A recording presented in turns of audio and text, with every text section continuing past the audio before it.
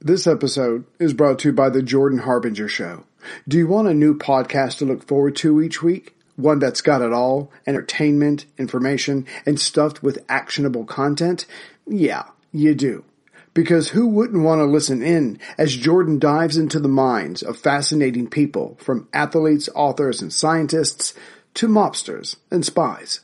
Each week, Jordan uses his interviewing talents to bring you never before heard stories and insights to make life more understandable. He has one of the most highly rated self-development shows out there. Listen in, learn, and look forward to each new episode, like I do. And I would like to recommend a few episodes myself. The first one is episode 650, Brian Klaas, The Corruptible Influence of Power, and the other one is episode 585 with Timothy Snyder, 20th Century Lessons on Tyranny. Check them both out. You can't go wrong with adding the Jordan Harbinger show to your rotation. It's incredibly interesting. There's never a dull show. Search for the Jordan Harbinger show. That's H-A-R-B as in boy, I-N as in Nancy, G-E-R on Apple Podcasts, Spotify, or wherever you listen to podcasts. This episode is brought to you by Audible. In case you didn't know, Audible has over 85,000 titles to choose from, and you can get one for free. Simply go to worldwar2podcast.net and click on the link. You can sign up for a free 14-day trial and get a free audiobook. You can cancel the membership at any time, but keep the audiobook. This time, I would like to recommend Lost in Shangri-La, a true story of survival, adventure, and the most incredible rescue mission of World War II by Mitchell Zuckoff. It's a true story that takes place on May 13th, 1945, when 24 uh, airmen and some women in the army are taken on a pleasure trip to see Shangri-La. There's a newly discovered island. And of course, the plane wrecks because there were like over 600 planes that went down in this area during the war. And there are three survivors out of all those people uh, two men and a lady. And they're all badly injured. And somehow they have to make it back to safety. But we're still technically at war with the Japanese, and the Japanese are on that island, not to mention some man eating headhunters. So they climb down the mountain trying to get to safety, and they stumble upon this very primitive tribe of superstitious people who have never seen a white man or a woman before. So it's an amazing story. I think you would like it, and it came out I think two months ago, and uh, Audible just picked it up. So so I certainly recommend it to you.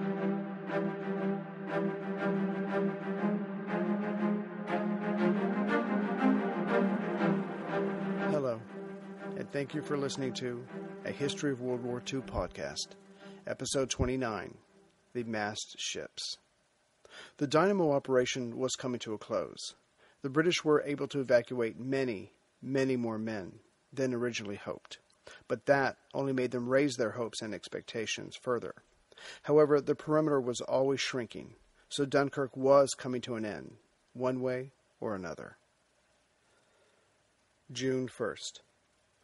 Unfortunately for the Allies, the sun got an early start on June 1st and burning away the morning mist. By 5:30 a.m., it was clear to everyone at the beaches and the mole that there was just enough light to fly by. To prove this, several ME-109s came in low and from the east. Forming up, some headed for the beaches, some for the mole, and the rest for the ships nearby. Normally, the Stukas and Heinkel stayed up, beyond the British Bren guns, while still being punishingly effective. But today, things were different. The Luftwaffe and Goering knew their time for eliminating the BEF was burning away, just like the morning mist. So they came in low, and no target was too small or insignificant. The destroyer Windsor, neither small or insignificant, was unable to move away from the mole, as it was taking on troops. The men on the beaches wanted to get in line, but there were so few ships at this time in the morning. Besides, standing in line would invite strafing from above. The destroyer Ivanhoe was trying to get in close, but it got stuck on a sandbank. It was then its crew noticed the fighters. Fortunately, she got free as the first wave of fighters and bombers went by. She managed to dodge the first pass, but not the second. At 7:41 a.m., a bomb hit the forward funnels. Some of the crew, thinking it was the end of their ship, jumped overboard. But most did not, and although the ones that remained were as scared as anyone else, their training and experience made the difference. Soon the fires were contained. The Ivanhoe was damaged, but still in this fight. This sight of a damaged ship, needing help to save its passengers, was an all too familiar one. Very soon the destroyer Havant and the minesweeper Speedwell came alongside and took off most of the crew. Only a skeleton crew remained aboard the Ivanhoe. The captain knew he and his would only be a hindrance to the mission, so he made for home, but only at seven knots, and that was with help. Of course, a damaged, slow moving destroyer, the backbone of the British Navy, was too inviting of a target for the Luftwaffe. Before she had gone very far, she was bombed twice, but each time the bomb exploded nearby. The crew left off smoke to simulate a hit. It worked. After two attempts, she was left alone, and the pilots thinking she would sink on the way home. Eventually, she made it safely to the British southern coast. The Luftwaffe had already moved on to more worthy prizes. They had waited out the bad weather, and this was their chance, and they were determined to make the best of it. The nearby Havant was next to get the attackers' attention. The troops that had just come aboard from the Ivanhoe had gotten settled when their new host got hit and the lights went out. Exhausted, the new passengers had to change ships again. They split themselves between the minesweeper Saltash and the small pleasure steamer Narcissa. The crew of the Havant tried their own clever tricks, but it was not meant to be. They were too damaged. At 10:15 a.m., the Havant submerged under the waves. Off of Bray Dunes, Wake Walker was on the destroyer Keith and saw the planes coming in to the east of him. But he also knew it wouldn't be long before he came under fire. The Keith was grouped with another destroyer, two minesweepers, two tugs, and a scoot, and this collection of British naval property would excite every Luftwaffe pilot who saw them. But Wake Walker didn't have to wait as long as he thought. They came his way quickly after first appearing in the Dunkirk sky. At 8 a.m., three Stukas made for the Keith. The first bomb was a near miss, but it jammed her steering, usually the beginning of the end for a ship. But the captain switched to manual steering to give the destroyer a chance. But then three more planes came at his small fleet, and only by sheer luck, although the pilot would tell everyone who listened he aimed for it, a bomb went straight down the second funnel. The bomb traveled down and exploded in the number two boiler room. The power immediately went out, and the Keith listed dangerously to port. As practiced many times in the last few days, the torpedo boat MTB 102 came over to help. Wake Walker transferred his flag to his new command ship. It was his eighth flagship in 24 hours. Just try to envision that. The rest of the crew and passengers were less lucky and had to go over the side, including some of Gort's staff. But the Stukas were not finished. They, like the generals on the ground, wanted to finish this and focus on the drive towards Paris. The war with France was not over. Dunkirk and the British were still in the way. A group of planes came around for a third attack at 8:20 a.m. They hit the Keith again as well as the minesweeper Skipjack. She quickly leaned heavily to port and the men knew it was time to disembark. Unfortunately, they could not move fast enough. 2 minutes after being hit, she rolled over and trapped the 250 to 300 men aboard. She floated upside down for 24 hours, but then sank. The Keith wasn't giving up the ghost yet, but the Luftwaffe wasn't giving up on sinking the Keith either. A fourth attack came at 8:40 a.m. This time the tugs came alongside and took off the rest of the crew. Captain Berthon of the Keith asked her fellow ships to sink her, but they were too busy using their arsenal against the bombers. Soon the Basilisk was hit as well and had to be abandoned. The destroyer Whitehall picked up her crew. The Keith suffered her fifth and last attack at 9:15 a.m. that morning. Finally, with enough damage done, she sank, and the men not yet picked up by another ship had to somehow swim through and not swallow the oil from the numerous sunken ships around. The tug St. Abbs came over and picked up the men until she was beyond full. Soon there were 130 men packed on her deck. After the fifth attack on the Keith, the bombers probably ran out of bombs or fuel. Either way, they started heading inland. But then at 9:30 a.m., a last bomber flew over the St. Abbs and dropped a stick of four delayed action bombs in the ship's path. The St. Abbs could not turn fast enough and ran over the bomb. It went off while under the ship, and the explosion ripped her bottom out. The St. Abbs sank in 30 seconds. There were few survivors. But what few unhurt survivors there were saw and swam for a wrecked steamer. It turned out to be the Clan McAllister, abandoned on May 29th. She lay grounded two miles off of La Panne, and her use was still not yet over. So once again, the men on the beaches, in the oil covered water, and this time on the ships heading home, asked themselves, where in the hell was the RAF? The short answer was they were either there in strength or not at all.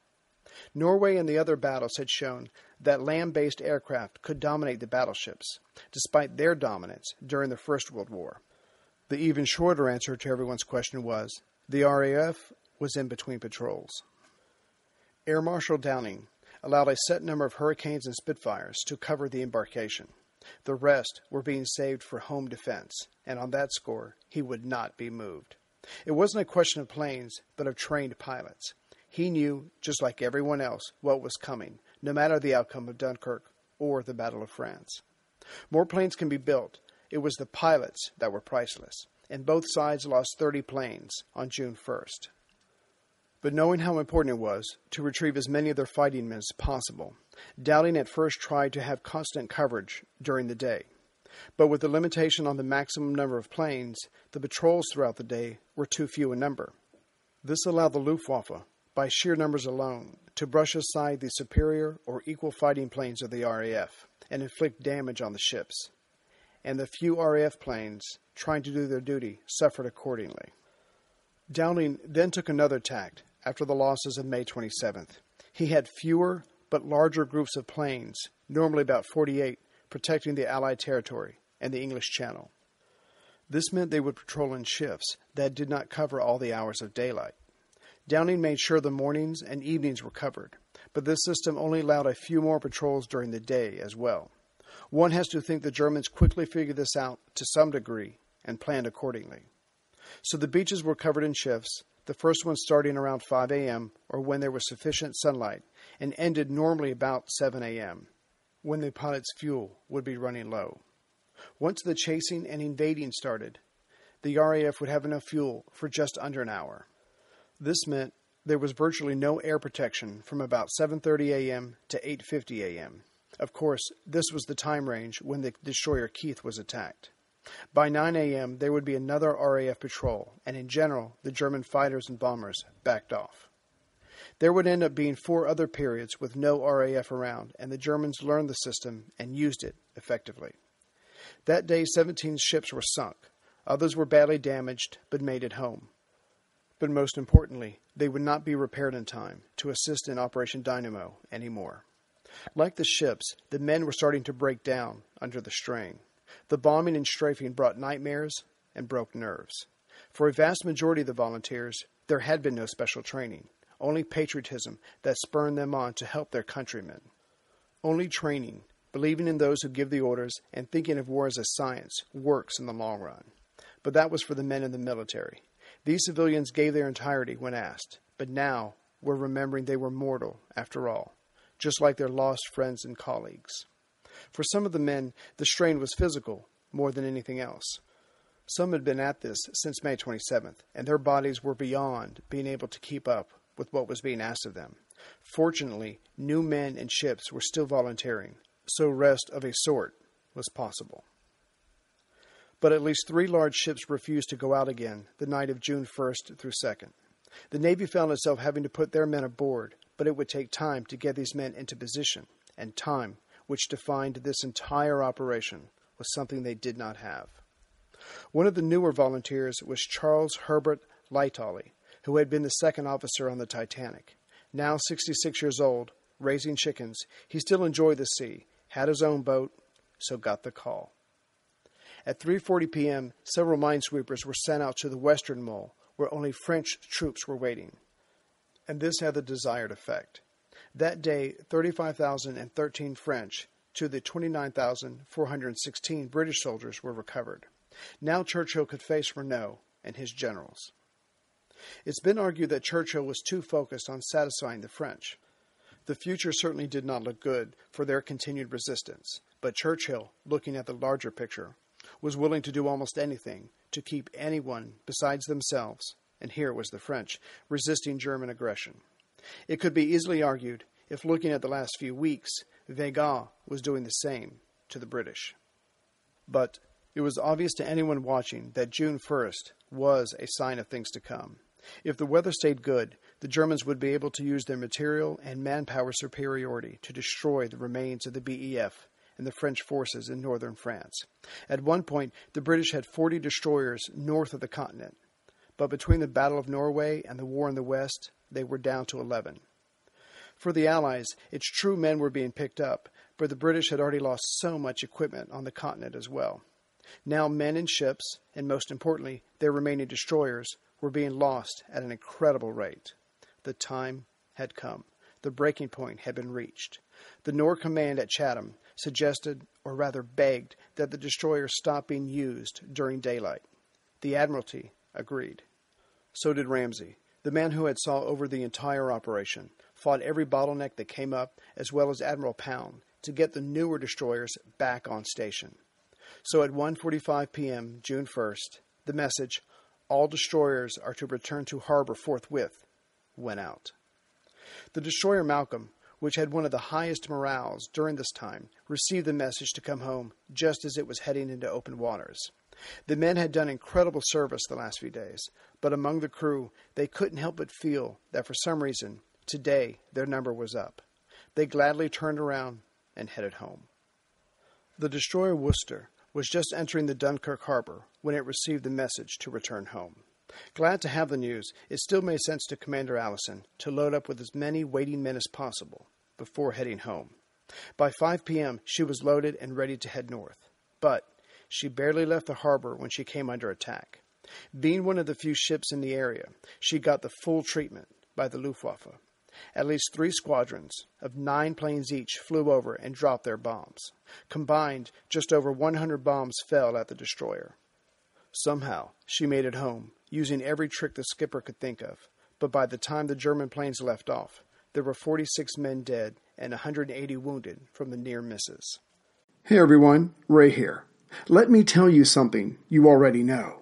All those free trial subscriptions you see all over the place that look so tempting, well, they renew without your consent. Why? Because they can, and because businesses are counting on you to forget about that one time you clicked yes on something, and they will just keep pocketing your money. But here's the part you may not know. There's help for that, and its name is Truebill. Truebill is the new app that helps you identify and stop paying for subscriptions you don't need, want, or simply forgot about. Because companies make subscriptions hard to cancel, Truebill combats that by making their process incredibly simple.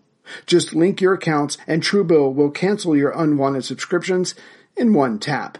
And on average, people save up to $720 a year with Truebill. Don't let the corporations continue to nickel and dime you to death. And with Truebill, your Truebill concierge is there when you need them to cancel an unwanted subscription, so you don't have to.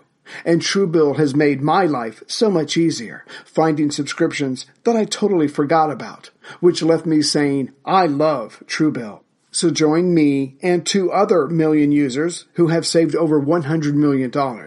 Or like Matthew B., who says, in a matter of seconds, I saved $666 for the year on my direct TV bill, saved $120 for the year on my Sirius XM bill, saved $840 a year on car insurance.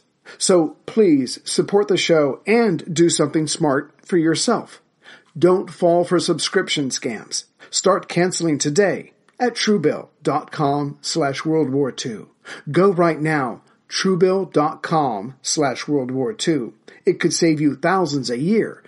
truebill.com slash World War II. Captain Tennant, who saw the first part of the ferocious attack on the Worcester from the mole, knew a turning point in the evacuation had come. At 6 p.m., he radioed Ramsay. Things getting very hot for ships. Over 100 bombers on ships here since 0530. Many casualties have directed that no ships sail during daylight. Evacuation by transports therefore ceases at 0300 or 3 a.m. if perimeter holds. We'll complete evacuation tomorrow, Sunday night, including most French. Despite this message to Ramsay, Tennant was not ready to give up on the BEF or the French helping hold back the Germans. The only question that mattered was could the perimeter hold? And no one knew the answer to that. But Tennant was realistic enough to put the if in his message. He knew it was only a matter of time, either before the German infantry broke through or the men manning the perimeter collapsed from their constant vigilance.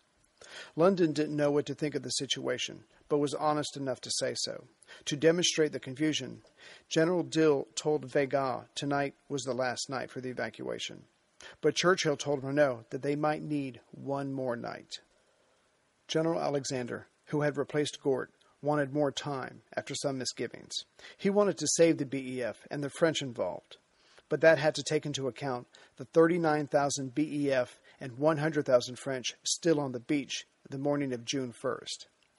But the equality rule meant getting a French soldier to safety for each of the 39,000 British troops. That was simply impossible in a 24 hour period, especially with the losses of the ships the Allies were suffering.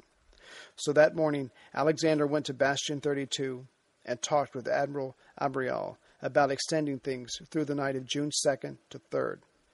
Abrial confidently agreed, but then again, the French had always been of the mind that the perimeter should be indefinitely held.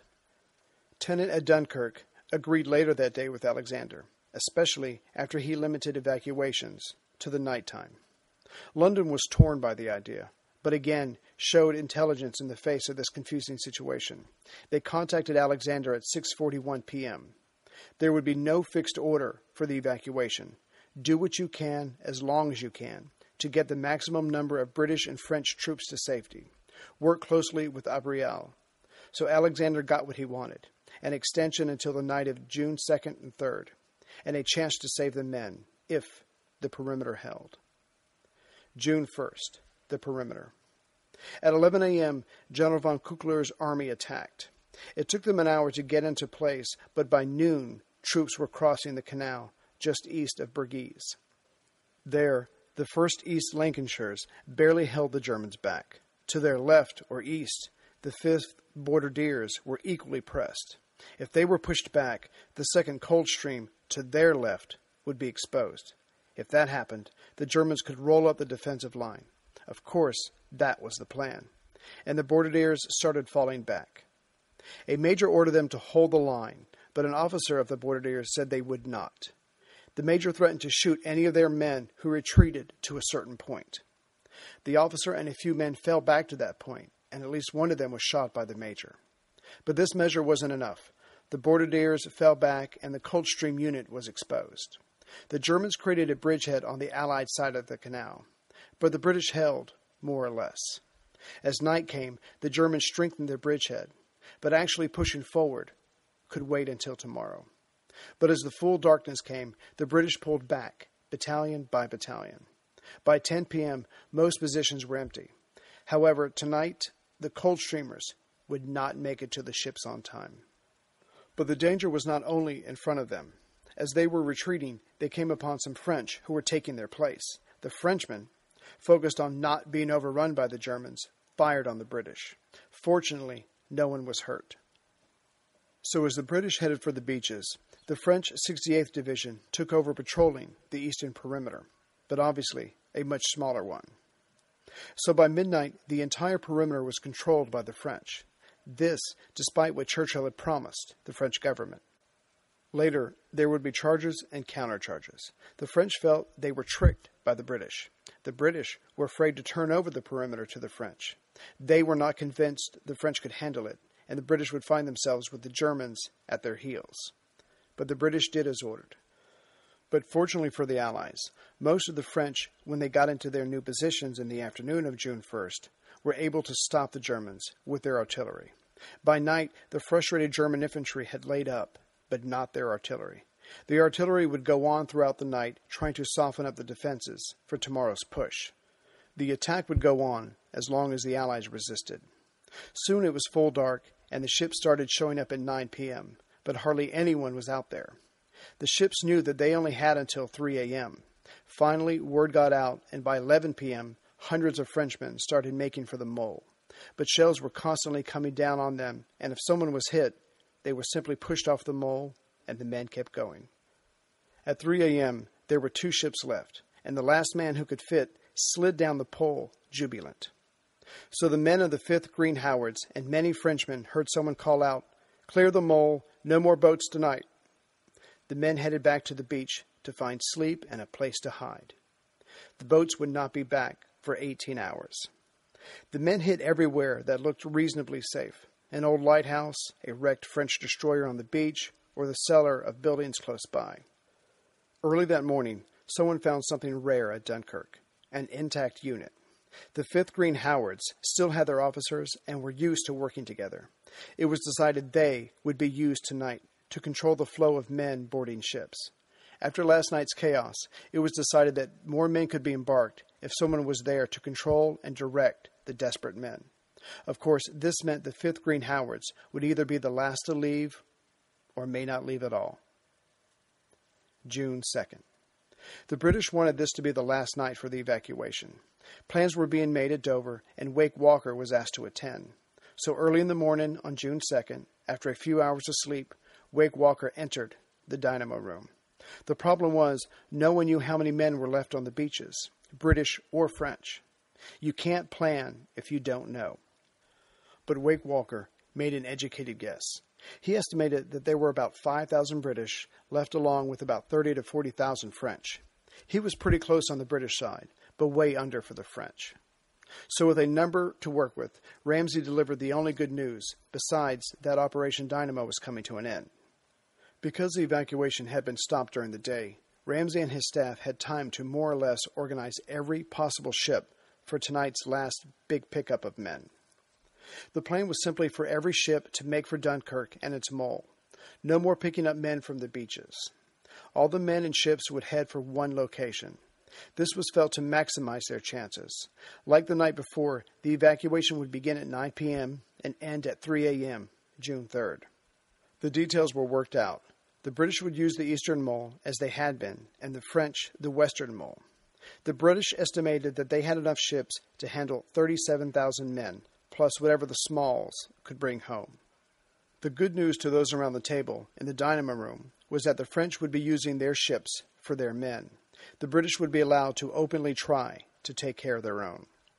So the meeting was over at 10:52 a.m. on June 2nd, and Ramsay sent out the message the final evacuation is staged for tonight, and the nation looks to the Navy to see this through. I want every ship to report as soon as possible whether she is fit and ready to meet the call which has been made on our courage and endurance. Many brave sounding replies came from the hundreds of ships, but quietly, behind their messages, the men were scared and had hoped to not have to make another run. But it was to be, so they readied themselves and their ships. The men were right to be afraid. Most had no way of protecting themselves, and that afternoon the Germans showed what they were capable of. Two hospital ships, clearly marked, made for Dunkirk, but each time they were attacked by bombers. There were no direct hits, but enough extensive damage caused both to turn around. So, this was it. The evacuation was about to be over, and Ramsay wanted the best in place to bring it off. Wake Walker was on his way back to his station, as was Commander Clouston. He had finally gotten some rest and was returning from the Dover meeting as well. He was given 30 men to help him with tonight's organization. He left Dover at 3:30 p.m. Halfway back to the mole, his smaller ship, as well as Wake Walker's, came under attack. Clouston's boat was bombed and strafed by Stukas for 10 minutes. When the planes were gone, it was found that Clouston and his staff had jumped ship. Wake Walker came over to make sure he was all right and to bring Clouston aboard. Clouston told him he would stay with his men. So Wake Walker headed on to Dunkirk. The men hung on to the wrecked remains of their ship. Someone said that they saw a lifeboat about a mile away, so one of the younger men volunteered to go get it. Clouston said he would come along. They started swimming. But only then did Clouston realize how tired he was. Getting some sleep early that morning did not make up for the days he had gone without. He turned around and made it back to his men. But the young man never returned with the lifeboat. The waiting men were out there for hours under the sun. One by one, they let go of the ship's remains and disappeared under the water. Only one man stayed alive to be picked up later, and it was not Clouston. The night of June 2nd to 3rd, where the massed ships and the massed men would meet, would have to make do without Commander James Campbell Clouston. On June 1st, 17,348 men were evacuated from the beaches. 47,081 men were evacuated from the two moles at Dunkirk, for a total of 64,429. And one of the Britons brought home safely was General Bernard Law Montgomery.